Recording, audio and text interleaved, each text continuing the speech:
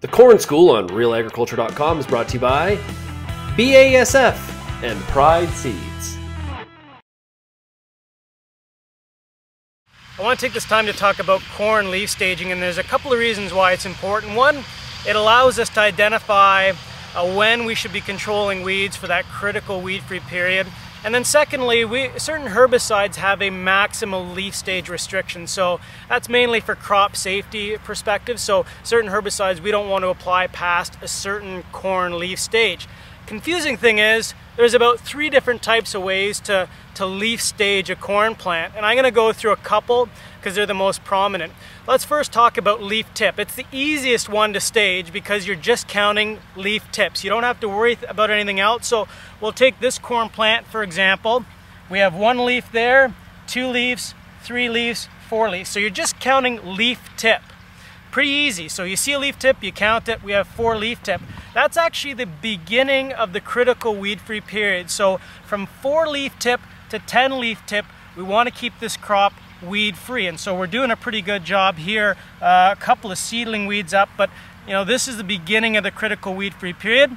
The other method, which is very common on herbicide labels, is the leaf over method. And you don't start counting leaves until you see it curl over. So in this case, we have one leaf curled over, two leaf curled over, three leaf curled over, and that's about it, right? So that's the three leaf stage. So some people talk about the critical weed free period being from the three to eight leaf stage.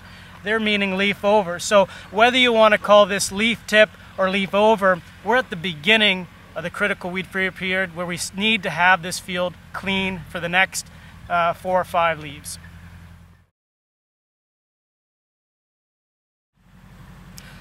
So we're looking at this corn crop here. I like using the corn leaf tip method for counting leaves because it's simple. You're just counting leaf tips. We have four leaf tips here. This is the beginning of the critical weed-free period. What do we want to look at when we're in the field? So if we haven't had a soil applied herbicide down, we want to gauge the level of weed pressure.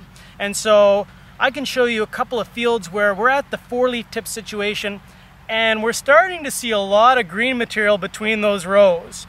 And uh, when we see that in the field, if that's your scenario when you're seeing, you know, starting to become difficult to see the corn rows, uh, the research suggests that we're losing probably a, a, bushel per acre per every day we are delaying getting in there and controlling weeds. So if you're in your field counting four leaf tip, you're starting to notice tons of lamb's quarters and annual grasses and pigweeds and it's starting to be difficult to see the rows. Uh, that's a high priority. We're losing a bushel per acre per day. But if this is our scenario here, where we're at four leaf tip and we're pretty clean, uh, we have the odd lamb's quarters here, the odd wild mustard. It's not as critical. Um, we should probably be in here in the next week or so because Lamb's quarters uh, over a week period can probably put on about four to six leaves and once we get a lamb's quarter that's above two inches tall it becomes a bit more difficult to control. So four leaf tip stage, perfect time to be looking at weeds uh, to see what we should be doing in terms of prioritization. So you might say, why do I need to get in here in three to five days? Things are relatively small. Here's actually a good comparison, an example of why. We probably want to be in the next week at, at the very latest. So here's common ragweed at the two leaf stage.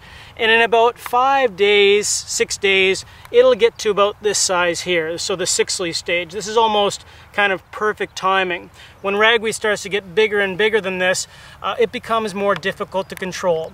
So that's why I say there's a bit of urgency here and that we want to be thinking about getting in here in the next little while because it doesn't take long for this little guy to get this big and then you start to, to not be able to see corn rows.